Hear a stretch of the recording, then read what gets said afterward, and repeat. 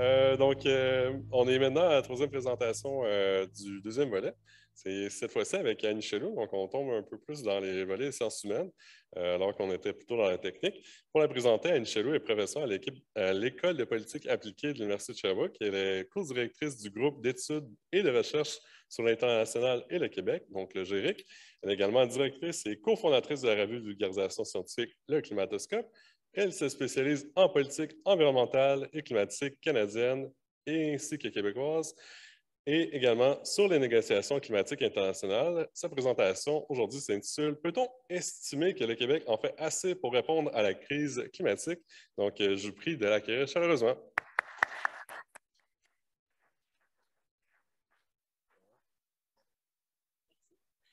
Bonjour tout le monde. Donc, euh, je me sens assez loin des présentations qui ont eu lieu euh, auparavant. Euh, mes recherches donc portent beaucoup sur les politiques climatiques québécoises et les négociations climatiques internationales, ce qui mène à une présentation aujourd'hui qui porte un peu plus sur des réflexions qu'on peut avoir sur, sur ces recherches-là. En fait, ma présentation donc se concentre beaucoup sur le Québec et sa responsabilité internationale en matière de changement climatique. C'est de voir est-ce que le Québec fait sa juste part. Est-ce qu'en termes de responsabilité, quand on parle de politique climatique, d'action climatique internationale, est-ce qu'on en fait assez? Est-ce qu'on en fait assez en fonction de nos capacités financières, technologiques, humaines? Euh, et est-ce que ce qui nous est présenté finalement euh, par nos gouvernements suffise à répondre à la crise climatique? Pour comprendre, dans le fond, là où on en est dans les négociations climatiques internationales, ben, il y a des notions importantes qui sont importantes d'aborder avec vous. La première relève euh, de l'accord de Paris. L'accord de Paris, vous en avez toutes et tous entendu parler. C'est donc un des grands jalons du régime climatique international. Et je, me permets ici de vous présenter les grands concepts fondamentaux qui sont associés à l'accord de Paris pour que vous compreniez le sens de la question que je vous présente. Premier élément, quand on parle de l'accord de Paris, on parle du fait qu'on s'est entendu, la communauté internationale s'est entendue pour contenir l'élévation des températures mondiales nettement sous les 2 degrés Celsius et idéalement 1,5 degré Celsius. Donc, c'est euh, explicite dans l'accord de Paris. Et aussi, on vise dans l'accord de Paris l'atteinte le plus rapidement possible de la carboneutralité. Ce que ça veut dire, c'est que ce qui serait émis donc euh, par l'activité humaine serait aussi capté par euh, par des activités humaines variées. Donc, ça, c'est vraiment quand on parle de cible d'atténuation des émissions de gaz à effet de serre. Deuxième volet, et ça aussi, c'est quelque chose que vous êtes peut-être au fait. Euh, dans l'accord de Paris, on parle aussi de l'importance de s'adapter au changement climatique. Pourquoi? Bien, les rapports du GIEC sont éloquents. On sait qu'on a actuellement une hausse des températures de 1,1 degré par rapport à l'ère pré-industrielle. Donc, on sait que la planète s'est déjà réchauffée et on vit déjà des conséquences rattachées au changement climatique, inondations, vagues de chaleur, euh, érosion, salinisation, désertification, euh, feux de forêt, etc. Mais plus encore, pourquoi je vous parle d'adaptation, c'est parce que ça va nous aider à comprendre le troisième concept, c'est qu'aussi, comme on doit s'adapter au changement climatique, il faut être aussi conscient qu'il y a des pays qui doivent s'adapter davantage que d'autres, qui sont plus vulnérables que d'autres, et ce n'est pas nécessairement les pays qui ont le plus de ressources pour le faire. Et finalement, le troisième concept qui est vraiment extrêmement important à comprendre, c'est le concept qu'on appelle de responsabilité commune mais différenciée. Ce concept-là, en fait, vient de la Convention cadre des Nations unies sur les changements climatiques de 1992, mais c'est encore, encore un principe qui est extrêmement important aujourd'hui. Ce concept-là vient dire que finalement, on a toutes et tous une responsabilité à l'égard des changements climatiques. On émet tous des gaz à effet de serre de par l'activité humaine, mais cette responsabilité-là, elle n'est pas égale partout. Certains pays, certains acteurs, certains États ont émis beaucoup plus de gaz à effet de serre historiquement que d'autres pensons au Canada, aux États-Unis, à la Chine, etc. Et donc, ont une responsabilité plus importante de répondre à la crise climatique et entreprendre des actions par rapport à ça. Et, que, et aussi, donc, cette action climatique-là doit être différenciée parce qu'il y a des pays, justement, qui doivent, euh, qui subissent actuellement des conséquences rattachées au changement climatique et on doit les accompagner pour qu'ils puissent s'adapter, mais aussi ne pas passer par le même modèle de développement économique euh, que les pays industrialisés euh, ont fait dans le passé. Donc, ce premier concept-là nous mène à un deuxième concept fondamental quand on parle de lutte contre les changements climatiques, c'est la notion de budget carbone. Je vous parle de budget carbone pour que vous puissiez comprendre que si on souhaite maintenir la hausse des températures à 1,5 degré Celsius, comme on a parlé dans l'accord de Paris, eh bien, on est dans la première tarte qui est ici. Ce que ça veut dire, c'est que l'humanité a émis depuis l'ère pré-industrielle un certain nombre de gaz à effet de serre. Ici, on parle de 2400 euh, milliards de tonnes de gaz à effet de serre. Et que si on veut maintenir la température en deçà des 1,5 degrés, ben, il ne nous reste que peu d'émissions que l'on a le droit d'émettre si on veut se, maintenir sous ce seuil-là. Donc, il nous resterait à l'heure actuelle 420 milliards de tonnes de gaz à effet de serre qu'on pourrait émettre dans l'atmosphère si on veut espérer rester sous ce seuil. Ça peut paraître beaucoup quand on parle de 420 milliards de tonnes, mais simplement pour vous dire que dans la dernière année, en 2021, les, estimés de l'Agence internationale de l'énergie disent qu'on aurait déjà émis en un an 36,4 milliards de tonnes. Donc, annuellement, il faut donc accélérer la cadence, donc réduire de manière beaucoup plus rapide, de manière beaucoup plus intensive, de manière beaucoup plus structurante nos émissions si on veut rester dans ce premier scénario-là idéal, comme le stipule le GIEC et la communauté internationale. Ce deuxième concept-là, donc de budget carbone, nous amène à la question qui est associée à ma présentation d'aujourd'hui, c'est sur la notion de la juste part. Parce que finalement, il nous reste 420 milliards de tonnes qu'on doit se partager au niveau de l'ensemble de, notre société. À qui on permet de polluer? C'est ça finalement que ça vient dire quand on parle euh, du, budget carbone restant. Mais quand on parle de la juste part, donc, plusieurs concepts nous permettent de cibler là où on pourrait réduire nos émissions ou là où on pourrait réfléchir à comment répartir ce budget carbone. Premier élément, c'est qu'on sait qu'il y a des pays qui sont beaucoup plus vulnérables au changement climatique, qui ont subi des conséquences disproportionnées. Pensez par exemple aux petits pays insulaires qui subissent euh, des hausses euh, du niveau des mers, des salinisations, euh, érosion des sols, perte des territoires, etc., et qui n'ont contribué généralement que fort peu à la problématique actuelle. Donc, est-ce qu'on pourrait les considérer davantage dans leur possibilité de développement par rapport à d'autres États qui ont émis davantage? un autre paramètre à tenir en compte, ben, c'est bien sûr ce que je vous ai mentionné tout à l'heure, la notion de responsabilité historique. Certains pays comme la Chine, les États-Unis et le Canada, parce que sachez que par habitant, on est le, le pire émetteur de gaz à effet de serre, donc on n'a pas à se péter les bretelles quand on parle de ça. Eh bien, quand on parle donc de responsabilité historique, on a donc émis, on s'est développé littéralement en brûlant du carbone, en brûlant des, euh, euh, hydrocarbures de manière extrêmement importante. Et donc, pour le budget carbone restant, ben, est-ce qu'on a le droit de continuer à émettre comme avant ou plutôt on devrait laisser la place à d'autres États? Vous comprenez que quand on entre dans ces réflexions-là, ça génère euh, une complexité incroyable. Aussi, ben, on peut se baser sur certains, certains éléments. Est-ce qu'on a les capacités de réduire nos émissions? Est-ce qu'on a les moyens financiers de mettre en place des programmes, des technologies, des structures pour réduire nos émissions de gaz à effet de serre ou on est finalement dans une situation où on n'a pas les ressources financières, les ressources technologiques, les ressources humaines pour nous permettre de faire ces transitions-là? Et bien sûr, les éléments éthiques deviennent fondamentaux dans ces calculs-là. Est-ce qu'on ne pourrait pas se dire, bien, il nous reste 420 milliards de tonnes, ce qu'on va faire, c'est qu'on va donner le droit de polluer à ceux pour qui ça coûte le plus cher réduire, ou bien, euh, et à ce moment-là, ceux que ça coûterait pas cher réduire, mais c'est eux qui vont réduire. On comprend qu'à ce moment-là, on génère une inéquité extrêmement importante entre les pays riches et les pays pauvres. On pourrait dire, ben non, ce qu'on va faire, c'est qu'on va y aller par une répartition par habitant. Un pays très populeux va avoir donc plus de droits de polluer. Un pays qui euh, pollue moins, euh, qui, a moins de population, ben, va évidemment avoir moins de droits d'émission pour la suite des choses.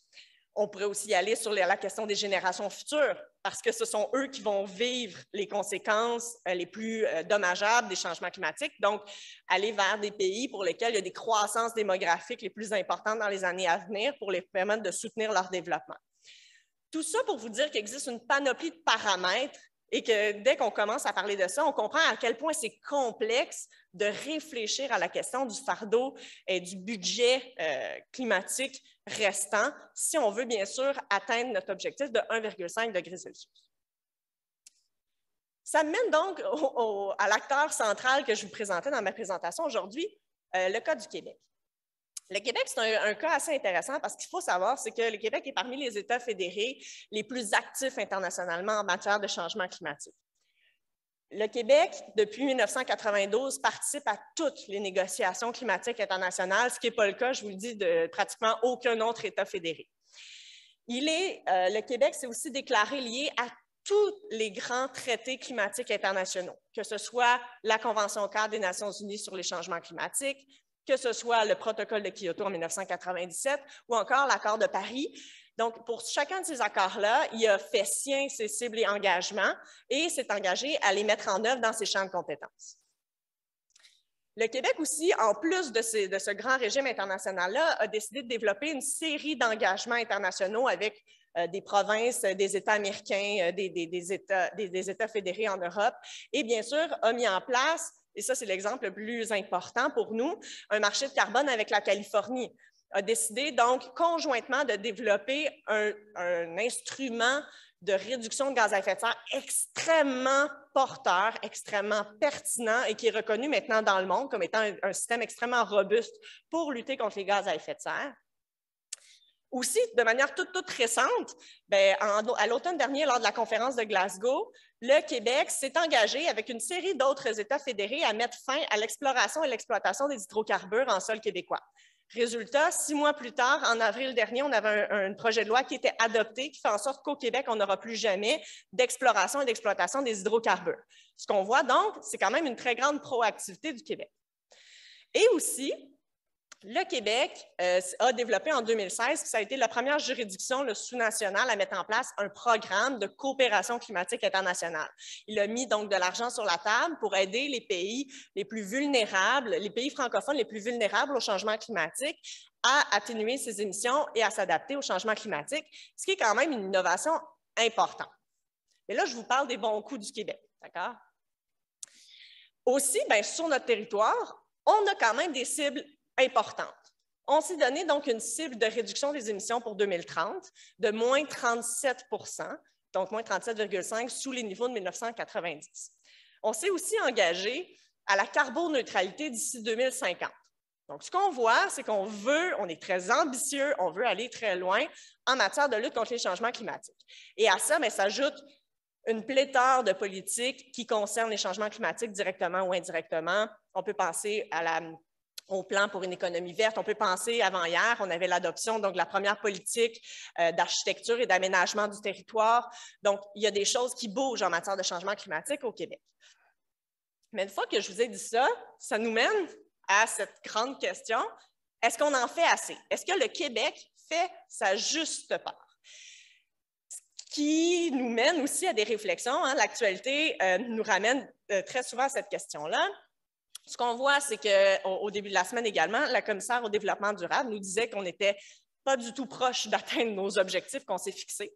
Et même ultimement, on peut même se poser la question, sur est-ce que ces cibles-là sont même suffisantes en elles-mêmes?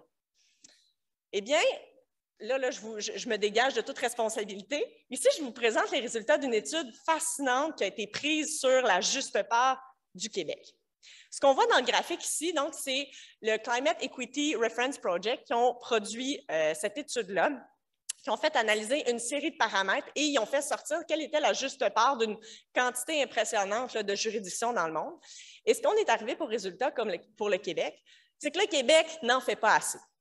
Si on voulait tenir en compte les paramètres de notre responsabilité historique, de nos capacités, du rôle qu'on peut et qu'on doit jouer en matière de lutte contre les changements climatiques, ce qu'on observe, c'est que notre juste part pour 2030 ne devrait pas être de moins 37,5 degrés Celsius, mais de moins 178% Quand on entend ça, ben, la, bouche nous tombe, puis ça devient un peu difficile à, à le réalisme derrière tout ça. Ce que les chercheurs nous montrent, c'est beaucoup ce qui est avancé maintenant par la communauté internationale, c'est de dire on comprend qu'on doit en faire plus et on doit faire plus vite, et on comprend qu'on est aussi limité structurellement pour transformer notre économie. Donc, ce qu'on dit ici, c'est qu'au Québec, on devrait donc réduire d'ici 2030 nos émissions à moins 65% plutôt que moins 37 et qu'on doit en plus, si on veut réfléchir en termes de juste part et donc d'équité, aller aussi faire des réductions à l'extérieur de nos frontières via notamment des programmes de coopération internationale, que ce soit dans des transferts technologiques, renforcement de capacité, etc.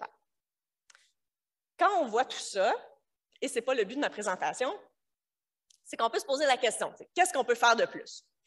Et probablement que le deux tiers de la salle va être comme moi et va réagir de cette manière-là. Première solution, c'est se mettre la tête dans le sable puis espérer que les choses vont passer ou encore se cacher sous le lit en attendant que l'orage passe. C'est généralement pas la bonne solution, surtout pas quand on parle de lutte contre les changements climatiques. Par contre, on voit qu'il existe énormément de solutions. La première, c'est de dire qu'on peut cibler les bonnes politiques chez nous. Ce qui est fascinant au Québec et partout ailleurs, c'est que très souvent, on connaît là où on peut réduire. On connaît où on peut couper dans le gras. Au Québec, il y a des secteurs qui sont en progression d'émissions, donc secteur des transports, secteur agricole, mais on connaît aussi toutes les solutions en termes d'aménagement du territoire, de, législation qu'on pourrait mettre en place sur les gros cylindrés. Il y a plein de manières de faire qui peuvent rapidement porter leurs fruits pour nous permettre de réduire nos émissions. On a aussi au Québec, je vous l'ai dit tout à l'heure, un des meilleurs outils pour lutter contre les changements climatiques et ça s'appelle la tarification carbone. Ça s'appelle dans notre cas un marché du carbone. Tout ce qu'il faut, c'est bonifier les paramètres, améliorer le, signal prix qu'on envoie quand on met en place un marché du carbone pour qu'on paie le coût réel rattaché à la consommation des hydrocarbures. Donc, avoir un prix, par exemple, de la tonne qui ne soit pas à 35 mais qui soit plutôt à 75, 100, 125, 140 pour vraiment faciliter et accélérer la transition énergétique. Et bien sûr, sur la scène internationale, ce que ça implique, ça implique évidemment d'accroître notre financement international. On a une responsabilité extrêmement grande au Québec, on a des capacités de le faire et on a vraiment cette responsabilité que on a généré des comportements qui ont des conséquences à l'extérieur de nos frontières et donc on doit financer, on doit transférer des technologies. Des technologies, ça peut être des technologies au niveau des voitures électriques, ça peut être au niveau, euh, euh, en fait, il y, a, plein de secteurs dans lesquels, notamment avec Hydro-Québec, on peut euh, travailler pour faire ce transfert technologique. Et finalement, renforcer le PCCI, c'est ce qu'on appelle le programme de coopération climatique internationale. Ce qu'on voit, c'est qu'on a donc plusieurs moyens pour nous aider à atteindre ces objectifs-là et que si on veut faire notre juste part, bien, il faut justement commencer à travailler plus fort pour qu'on euh, puisse réellement faire notre juste part dans la lutte contre les changements climatiques. Voilà. Merci.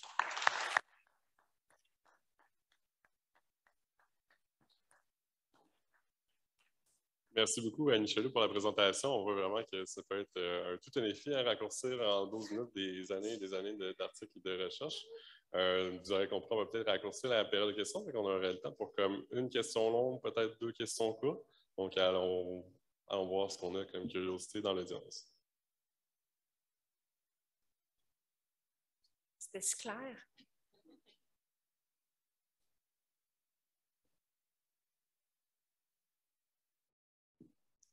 Oui.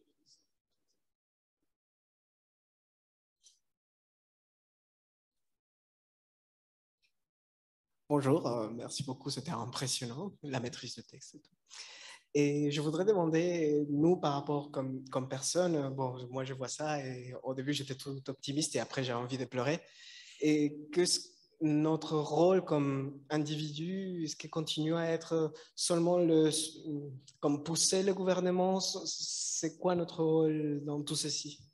Bien, le, rôle du citoyen est multiple. D'une part, vous savez qu'on va avoir des élections, hein, on parle du Québec, on va avoir des élections à l'automne 2022. Euh, Il y a des demandes qui peuvent être faites et c'est dans l'univers politique, s'il y a un moment où on peut changer les choses, on peut demander des choses aux politiques, à tous les partis politiques, c'est notamment pendant les campagnes électorales. Euh, ça, c'est un moment clé. Mais ce qu'il faut savoir, c'est qu'au Québec, les gens sont sensibilisés comme peu ailleurs euh, sur la question des changements climatiques. Et donc, cette mobilisation-là électorale, mais via des groupes de pression, via des, coalitions de groupes, devient un outil extrêmement important. Euh, donc, c'est beaucoup à cet égard-là que je vous dirais que, la différence peut être faite, mais c'est sûr que ça prend une pression des citoyens très, très forte parce que, notamment avec le gouvernement actuel, on est vraiment dans une dans une perspective où on vote en fonction de ce que nos électeurs souhaitent. Donc, il faut pousser, euh, si on estime que cette cause-là, bien sûr, en vaut la chandelle. Merci.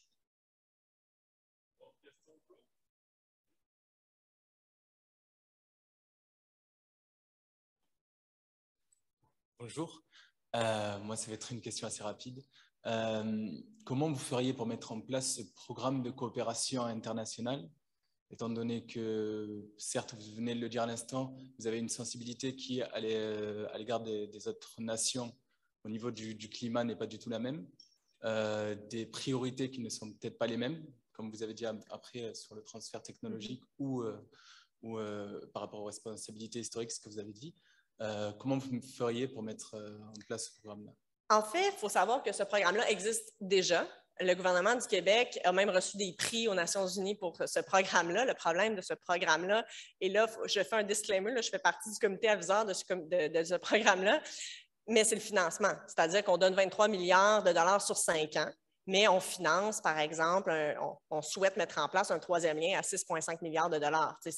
Et, là, c'est là l'écart qui est réel. Quand on est capable, on ne finance pas à la hauteur de ce qu'on devrait, euh, on, ne finance pas à la hauteur de notre responsabilité historique et de notre juste part. Donc, si les gouvernements et si les citoyens sont sérieux dans la lutte au changement climatique, il faut aussi accepter le fait que de l'argent de nos poches comme contribuables vont devoir aller dans des programmes pour, dans d'autres pays qui, eux, subissent les conséquences des changements climatiques et qui n'ont pas à, euh, à devoir vivre les conséquences que nous, on leur fait porter. Merci.